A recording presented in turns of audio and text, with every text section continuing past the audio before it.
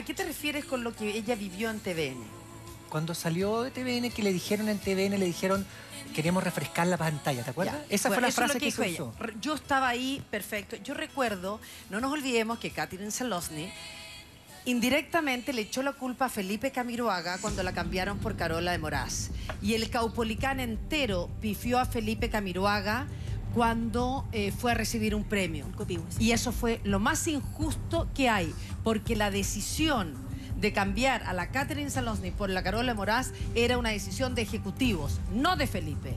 ¿Tú te acuerdas? Ella quedó como víctima en ese momento. No, pero No, para yo hacer- me acuerdo Sí, perfecto. sí, yo Hugo. también, pues sí, yo- obviamente y que hemos hablado de justamente este tema a Felipe en el lo hemos Caupolicán. reporteado. Hablamos de este tema y lo, lo he reporteado. Lo que, lo que entiendo yo, o lo que yo entendí, Sí. era que más que la Katy haya dejado entrever que esto era culpa de Felipe, lo que a ella le dolió, y en esto me parece súper válido, es que él no se haya acercado a hablar con ella, Perdón. que no le haya dicho nada. Eso es lo que entendí yo. Y por el otro lado, entiendo que lo que más le dolió a Felipe era que la Katy no haya salido explícitamente a decir Felipe Camiroaga no tiene nada que ver con Todo lo esta contrario, decisión. ella hizo, hizo indirectamente hizo pensar que la culpa era Felipe. Incluso después que Felipe recibió el premio, se fueron en la van y en ningún minuto le habló Catherine Salón a Felipe Tú eras bien cercana a Felipe. ¿Nunca te comentó algo? Porque yo creo que ellos, con el tiempo que se conocían, ellos fueron pololo, se dieron la mano, uno, uno ayudó a uno, después el otro ayudó a la, a- a- la ayudó a ella. Eh, ¿Nunca lo Te conversaron voy a decir más, yo ingenuamente, ingenuamente solidaricé, y Mauricio Correa es testigo, le hice una comida en mi casa a Catherine Salosny, como apoyándola, apoyándola, y no te- porque ella convencía a todo el mundo que Felipe era el culpable del cambio de animadora. ¿Pero eso te lo dijo ella a ti? Es que Es que te tengo Es que que- preguntar, porque sí, tú estás eh, eh, diciendo Es que ella pensaba, a ver, ella de repente, a ver, estábamos en el programa y de repente aparecía Carola Regia estupenda en el estudio. Como que iba pasando y era obvio que la iban a reemplazar, era obvio que la iban a cambiar. Pero Felipe no tenía nada que ver, nada que ver. Lo que Él pasa no- es que yo quiero, para ser abogado del diablo, yo creo que quizá el dolor de ella, ella tiene una relación con. Felipe, de- se conocían hace muchos años, fueron pololo, tal vez ella pensaba, me podría haber echado una mano, me podría haber avisado, tal- no, no tengo idea si lo hizo o no lo hizo. Desconozco eso, pero estoy tratando de leer un poco qué es lo que puede haber pensado la Katy, que ellos lo la Katy en ese minuto. No, es que yo no, no, no puedo, no puedo No puedes contar todo. No, no puedo contar Porque eso, pero, porque- pero a espérate, veces pero sí- uno queda muy bien cuando se hace la víctima. De víctima, Pero, Raquel, perdón, te estoy dando la espalda. ¿Por qué no puedes contar? No quiero que No. me cuentes, pero ¿qué pasaría si contaras esto? No, no, no pasaría nada. Las personas no están nomás, las personas no están. Y no me gusta hablar cuando las personas no están presentes. Pero yo, eh, refiriéndome a lo- cuando dice Daniel, ay, lo que ella pasó pobre en TVN, fue absolutamente. Pero yo entiendo que lo que se refiere Daniel es que El cambiar de a una persona con, con mayor edad por una persona de menor edad. Sí, pero yo yo- A ver, ¿a qué te ¿no? refieres, Daniel?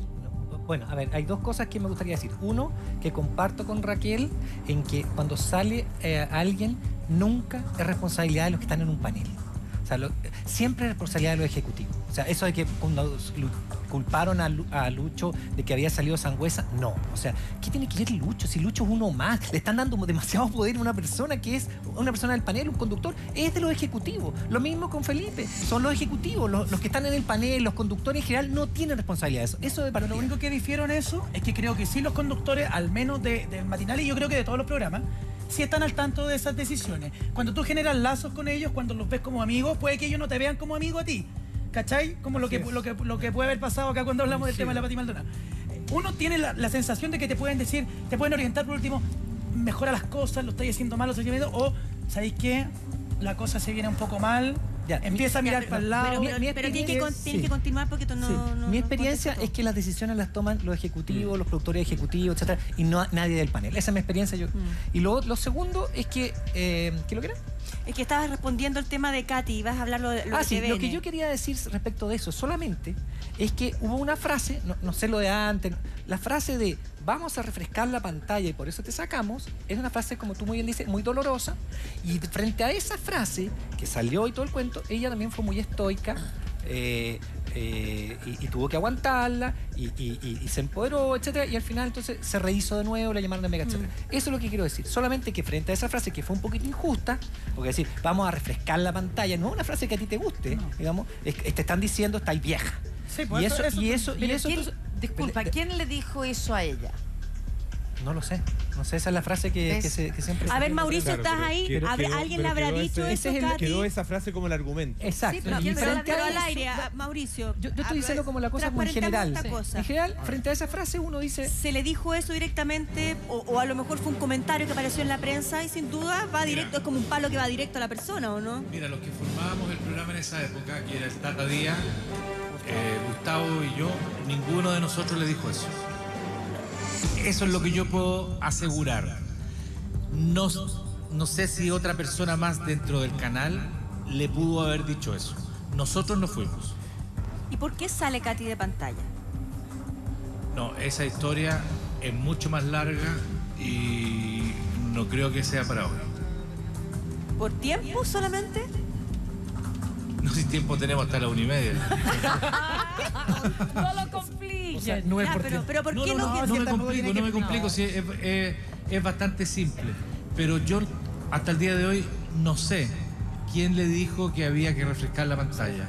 Porque yo no fui, no fue el Tata Díaz, no fue Gustavo Gustavo. Cariaga. Pero Mauricio, te puedo hacer una pregunta. Eh, más allá de que lo hayan dicho ustedes directamente a ella o se lo hayan dicho a algún periodista, ¿existía Es que en ustedes.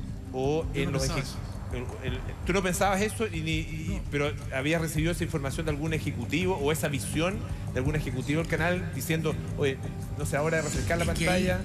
es que ahí yo no me puedo explayar porque todo eso está dentro de un contexto de trabajo. ¿Ok? Y por eso es que no, Lo que no pasa puedo... es que te lo pregunto porque Lo que sí sé- de las conversaciones que, que se sostienen entre ejecutivos, productores, inclu- incluidos muchas veces los propios animadores, de ahí surgen frases, palabras, conceptos que después se empiezan como a, a consolidar. Y esos Sí. son los que finalmente pasan, pasan hacia el resto de la gente y se- se- finalmente terminan circulando, se filtran y terminan circulando. Lo que yo recuerdo es artículos en la prensa en que hablaban justamente este concepto de que había que tenía que refrescar O sea, la la pantalla. sensación, Por lo tanto, la- ese la- concepto yo creo que no, no- no fue inventado desde fuera. Y creo la que sensación desde quedó eso. O sea, hu- hubo dos sensaciones. Uno, que estaban sacando a la Katy porque tenía más edad que, que la Carola. O sea, lo estaban sacando por vieja, como bien lo dijo, lo dijo Daniel.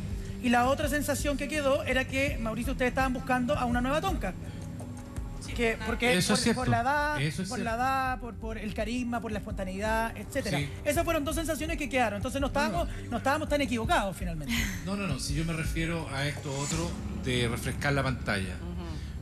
Porque la verdad es que nosotros no, no escribimos ese argumento. O sea, Ahora, de verdad que me esto- extrañaste cuando me fui. Sí, Absolutamente. ¿En serio? Sí. Sí, pues. Pero te demoraste en ¿Después de tanto, ¿Cuánto tiempo te oye, diste? Pero esto va, esto va a lo que siempre es una máxima, que todo el mundo siempre conoce la versión de la caperucita roja. No de la del lobo. Y todos creemos que el lobo es malo, pero que no conocemos la versión del lobo. Eso Todo ese- todo- Puedes seguir hablando. Gracias. Gracias. Mauricio. Gracias, Mauricio, por Oye, te, va- te vas al tobogán, Mauricio, ¿ah? Con la mancha merino. Oye, tú, Con la mancha. tú has dado, o sea, tú has dicho solamente la, la versión de la caperucita No sea hoy día, tiburón. no has dicho nada del, del lobo. Yo, No, Nada. es que lo otro corresponde ya a reuniones de trabajo, cosas que ocurrieron, ¿cierto? Que, que son...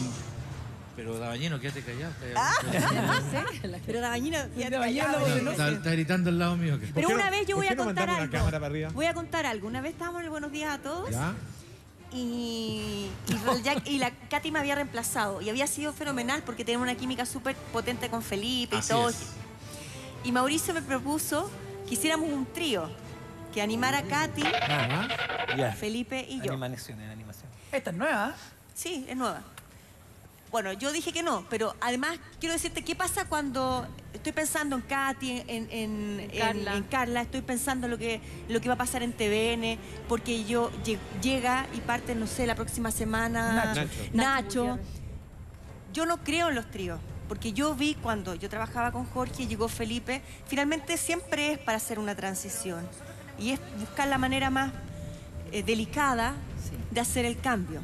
Y un cambio así siempre duele. Cuando a ti te proponen eso, finalmente tú te cuestionas, no estoy haciendo bien mi trabajo, no estoy tocando la tecla que tengo que tocar.